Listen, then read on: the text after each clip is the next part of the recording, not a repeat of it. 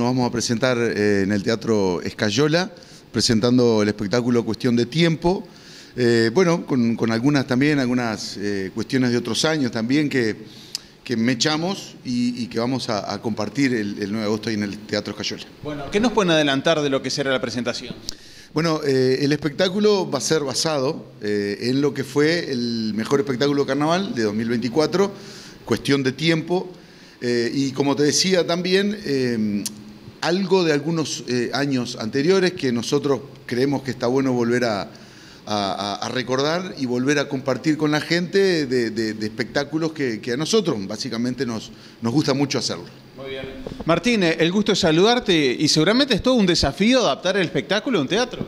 Buenos días, el gusto es mío. Sí, sin duda que sí, aparte que es un desafío lindo una gran responsabilidad actuar en el Teatro Escayola, que como lo veníamos diciendo, también para nosotros es un hecho histórico estar ahí. Este, y bueno, ayornar el espectáculo del teatro este, lleva, lleva un laburo, lleva un ensayo por temas de dimensiones, que no es lo mismo. Este, un teatro tiene, digamos, el, escenario es un poquito más chico, tuvimos que ayornar un poco la puesta en escena, pero estamos re contentos de poder presentar el espectáculo ahí en ese lugar tan emblemático, que bueno, que para nosotros es un privilegio este, tener un teatro este, de primer nivel y poder llevar el espectáculo ahí. ¿Y el, equipo se mantiene? El equipo es tal cual el mismo, la misma gente, todo igual.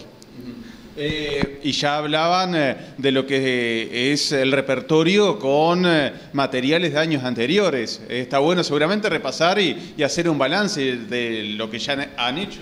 Así es, el espectáculo se llama Cuestión de Tiempo y habla de diferentes cuestiones dentro de tiempos de varias cosas.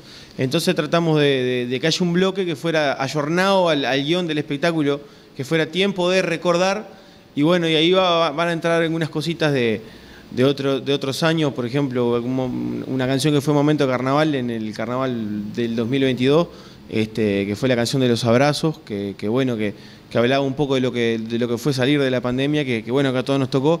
También pensamos que fue, era, era un buen lugar para, para traer eso, digamos, a, al recuerdo y bueno, y ayornarlo al espectáculo. Bien. Eh, Eño, ¿las entradas en Ticantel? Las entradas en Ticantel y también en la boletería del teatro.